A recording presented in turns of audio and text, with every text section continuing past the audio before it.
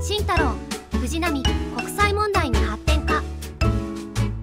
マリナーズファンムちぎれでくさ不良に当てたらいかんでしょだから海外に輸出するなって言ったのに。不良ロドリゲス今年あかんやん。ある国際問題。アストロズ戦だけ投げればええんやろ。投げる抑止力やぞ。アストロズ戦でやれば一定して英雄になれるやろ。そろそろ米国人も恐怖で打てなくなる。み本人は気にしていないノープロブレムだ。まだまだこんなもんじゃないよ彼。わざとじゃないのでセーフ。こいつの場合わざとやっても当たらんやろ。